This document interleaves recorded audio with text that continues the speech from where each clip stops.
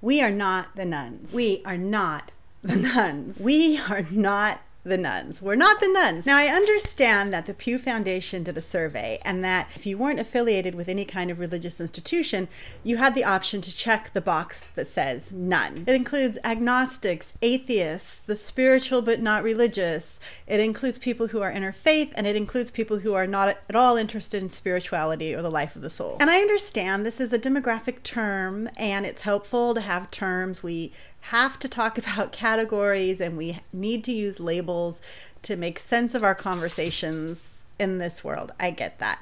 But the use of this term, the none, is actually very hurtful towards Relig-ish people because it is zero, goose egg, nothing, void. It's a void. And we are not void.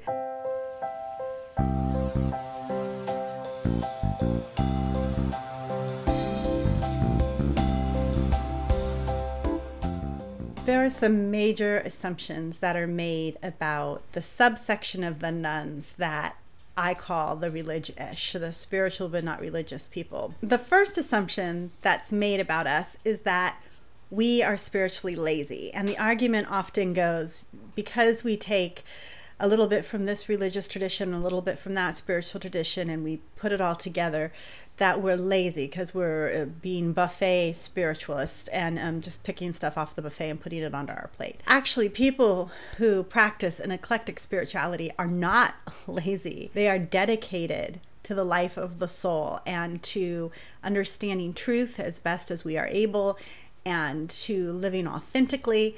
And you have to learn about all the different religious traditions, try out the different practices, get familiar enough with them that you understand why they're done and where they come from, and then adapt them to be right fit for yourself and your family. That is hard, committed work from people who want to live truthful, authentic spiritual lives. That is not lazy. The next assumption that's been made a lot about the so called nones, especially the spiritual but not religious part of that, is that we are morally weak or morally bankrupt. This is also not the case. A lot of religious people have moved outside of the institutions that they grew up in, the faith of their childhood, because those institutions were not in alignment with their moral core. So I'm not saying that all religious institutions are like this, but a lot of them do not make space for the GLBTQ community and are not interested in equity for those people.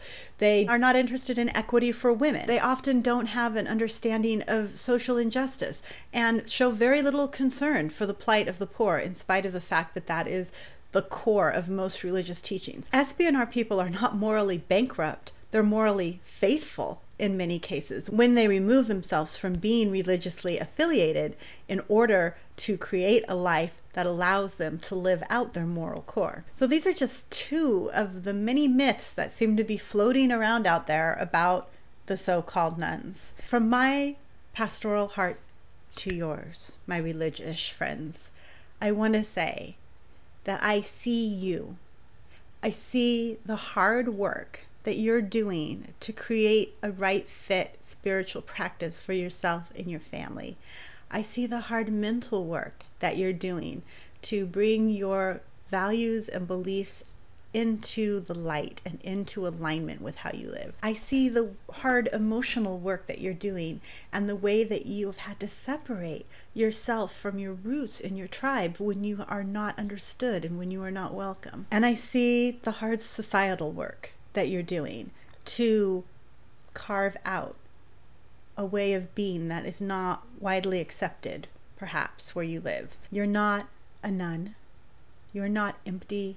You are not a goose egg. You are not void. You are committed. You are spirit filled. You are soulful. You are morally astute. And I am proud of you. I'm so proud of you.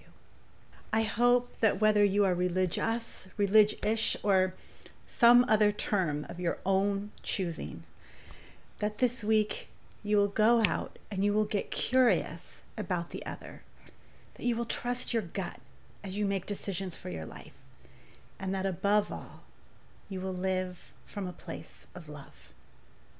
Amen. Amen.